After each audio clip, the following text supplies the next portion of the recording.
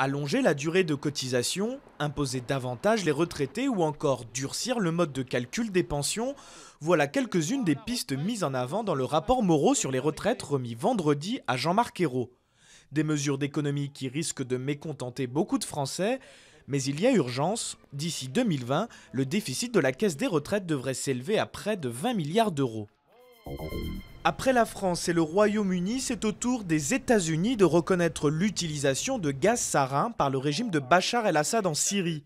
La ligne rouge a été franchie selon l'un des conseillers de Barack Obama. Les États-Unis ont annoncé qu'ils soutiendraient militairement les rebelles syriens, sans toutefois donner davantage de précision. L'étau se resserre autour de l'ancienne équipe de Nicolas Sarkozy dans l'affaire Tapi.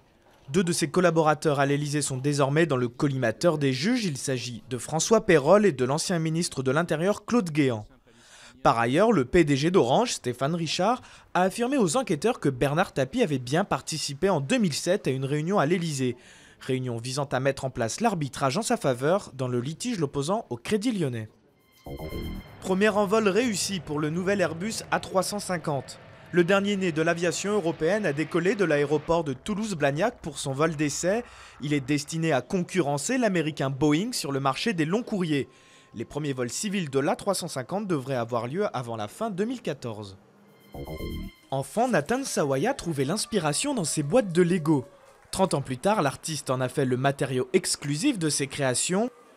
Des statues de l'île de Pâques à la peinture contemporaine en passant par les dinosaures, il revisite toute l'histoire du monde avec ses petites briques et prouve que certains artistes n'ont rien perdu de leur âme d'enfant.